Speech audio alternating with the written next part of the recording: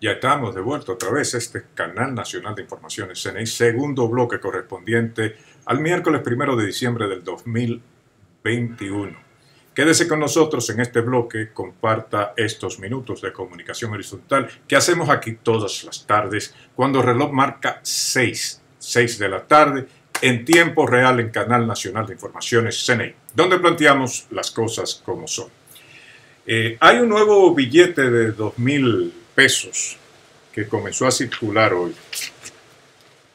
Eh, es un billete que el Banco Central informa, eh, serie 21, cuya fabricación se ordenó mediante licitación pública internacional. Así que no se moleste cuando, si usted va al supermercado con ese billete y la cajera empieza media hora mirándolo, a ver si no. Yo cuando me hacen eso, entonces cuando me devuelven, yo hago lo mismo. Y ella se ríe nada más. Pero ese es su trabajo, porque eh, si lo dejan pasar, se lo cobran a ella. Eh, ya lo saben, un billete de dos mil pesos. A mí no me gustan mucho esas denominaciones altas, porque entonces me doy cuenta que ya no aparecen. Es muy raro encontrar usted, bueno, ya no aparece la papeleta de, mil de un peso. No aparece la de 5, no aparece la de 10, no aparece la de 20. ¿Y qué le indica eso? Es muy raro usted ver las de 50. Aparecen todavía, pero es muy raro. ¿Qué le dice eso a usted? Que el dinero vale menos y que el Banco Central lo que proyecta es que valga menos. Una de las cosas que me gustaba estar en Alemania era que te, te devolvían hasta medio centavo, un centavo. Usted veía a las señoras mayores en los supermercados pagando con monedita monedita. Bien, eh, Santiago tiene un buen alcalde. Yo creo que todos estamos de acuerdo con eso. Creo que es uno de los alcaldes históricos que ha pasado por República Dominicana. Ha dejado una impronta en los cinco años, sin importar que sea del PLD, que sea de cualquier partido. Eh, su nombre es Abel Martínez. Todo el mundo reconoce que Santiago ha dado un cambio positivo desde que este señor llegó allá. Abel Martínez eh, se está quejando de que el gobierno no le tiene retenido el dinero de la regalía pascual. De hecho, le tiene retenido el mes de noviembre y la regalía pascual. Al presidente Abinader, si no lo sabe, que actúe sobre el caso porque eso queda mal, presidente. Eh, usted está quedando mal con un alcalde de la segunda o tercera ciudad, la segunda ciudad que tercera ciudad, la segunda ciudad en importancia en República Dominicana. Eh, pero un tipo que tiene una imagen positiva. Olvídese que Abel Martínez quiere ser presidente y todo eso, pero donde trabajan miles de trabajadores, miles de empleados de ese ayuntamiento, que no han cobrado noviembre y no han cobrado diciembre. Vamos a escuchar las quejas de Abel. Vamos a ver. La alcaldía de Santiago los últimos cinco años tenía el dinero del doble desde octubre. Lo teníamos ahí para pagarlo el primero de diciembre. O sea, en los cinco años anteriores habíamos pagado el primero de diciembre. ¿Por qué hoy no estamos pagando el doble? Bueno, porque el gobierno no ha mandado ni siquiera lo de noviembre y retuvo durante todo el año el dinero de la alcaldía para el doble y ellos lo tienen retenido. Con estos versos. Que yo lo vi bien cuando le hacían a otra alcaldía, pero en el caso de nosotros, nosotros no tomábamos préstamos prestados, préstamos, por lo tanto no había que reservar ese dinero. Pero los cheques están hechos esperando que depositen para que entonces pagar noviembre y pagar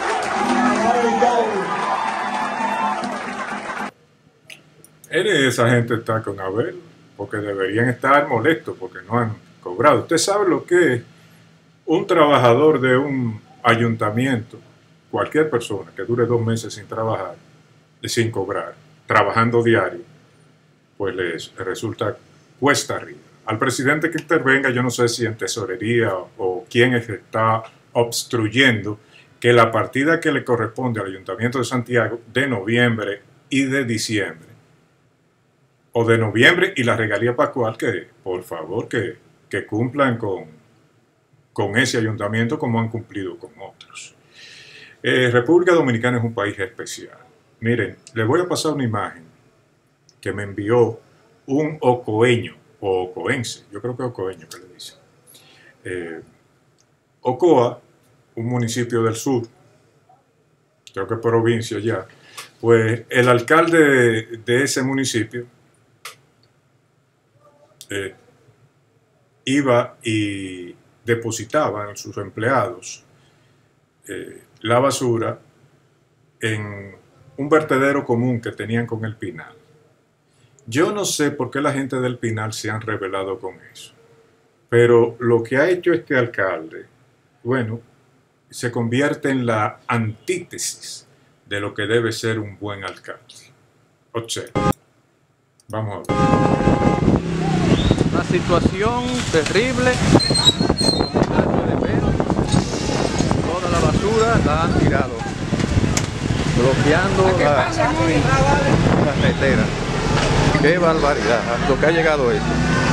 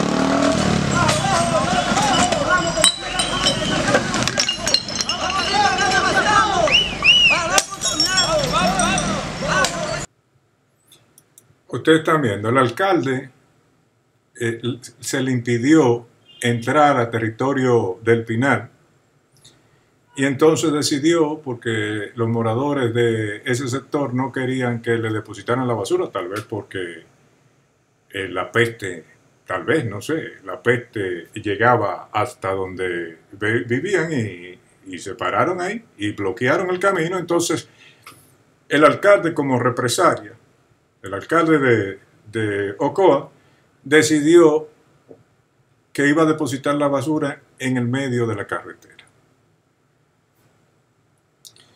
Eso no le pega a nadie, pero mucho menos eh, va acorde con lo que debe ser un alcalde, por más bruto que sea, por más prehistórico que sea.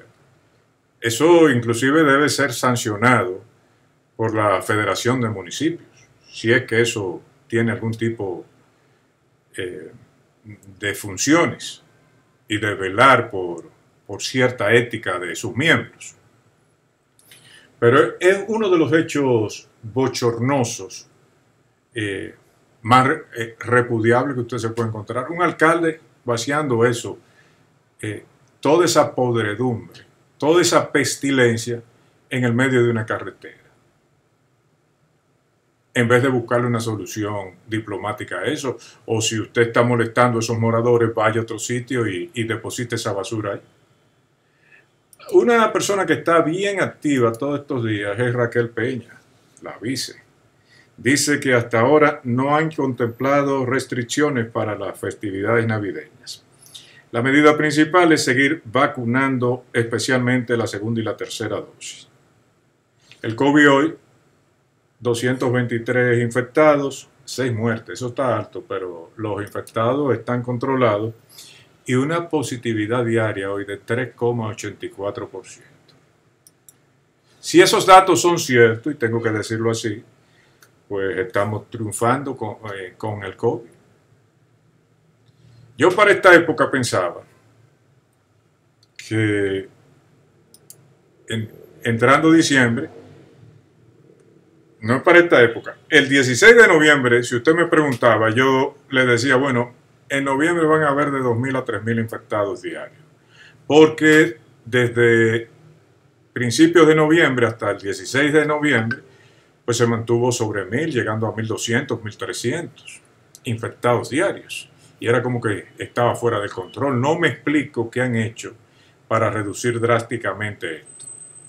Pero las cifras lo indican así. Por eso digo, si esas cifras son correctas, pues hay que darle una medalla a, primero a, a esta señora, que ha sido atacada mucho por la opinión pública con las posiciones de vacuna. Con todo y esto, eh, miren, yo me vacuné las dos vacunas Pfizer.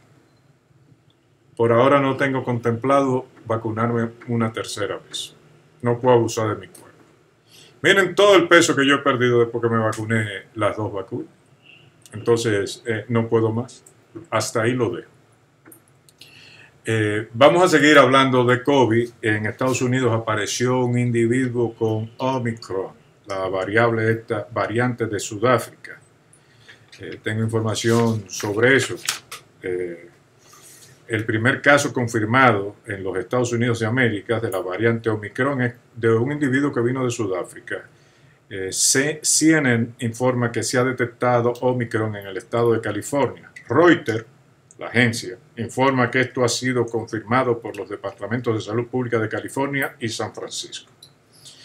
Eh, usted dirá, pero California, San Francisco queda en California, sí, pero ha sido confirmado por el Departamento de Salud Pública de la ciudad de San Francisco y por el estado de California. La variante Omicron parece capaz de sortear algo de inmunidad, pero las vacunas deberán ofrecer protección contra enfermedades graves. Omicron está superando a la Delta en Sudáfrica como variante dominante. Eh, calladito varía mucho. Ahora todavía no se ha desmentido que los síntomas son leves y entonces ¿por qué tanto escándalo con Omicron? Eh, hoy, hoy, póngale atención a esto, tal vez es eh, una noticia que que va a influenciar en el mundo entero. Esos señores que están ahí son los integrantes de la Corte Suprema de los Estados Unidos y están examinando hoy, en estos momentos, la constitucionalidad de una ley aprobada por Mississippi que restringe el aborto a 15 semanas después del inicio del embarazo. Es decir, que después que eh, el embarazo tenga 15 meses, no pueden, hacer, no pueden inventar con el aborto. Pero ahí no se queda el asunto. La Corte también debe emitir su decisión sobre otra ley aprobada por Texas, que es desde septiembre ha impedido cualquier aborto más allá de las seis semanas. Los demócratas temen que un tribunal ahora dominado por una mayoría conservadora eh, revoque la decisión de 1973 eh, en el caso Roe versus Wade y revierta los derechos del aborto en los Estados Unidos. Ojalá que así sea. Eh, yo soy antiaborto mil por mil. Después que, miren, la ley esa en Texas, después de seis semanas no se puede abortar. Creo que a las ocho semanas eh, ya eh, el embrión ya es un ser formado. Y entonces usted no puede inventar, decidir la vida de otro porque usted no le conviene. Hay muchos organismos internacionales que ven esto como, como una forma de controlar eh, el porcentaje de la población. Eh, inclusive le pagan aquí a un grupo de charlatanes que usted ve en el Congreso Nacional, disfrazados de políticos y apoyo irrestrictamente la, la posición de las iglesias de República Dominicana y de los sectores eh, conservadores, si usted los puede llamar. Esos progres ni saben dónde están e inclusive ese término hasta indica otras cosas.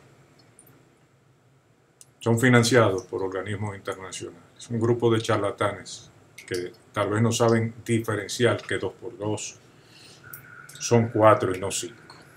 Así de esa forma llegamos al final del espacio, esperando que ustedes, las informaciones servidas por este servidor, los comentarios, le hayan sido útiles y esperando que mañana estén de vuelta otra vez en este programa que trata de establecer comunicación horizontal en Canal Nacional de Informaciones CNI. Recuerde, de lunes a lunes, aquí no hay día libre, ya le avisaré cuando necesite un día libre, pero normalmente estamos todos los días de lunes a lunes a las 6 en tiempo real aquí en Canal Nacional de Informaciones, donde planteamos las cosas como son. Hasta otra próxima ocasión.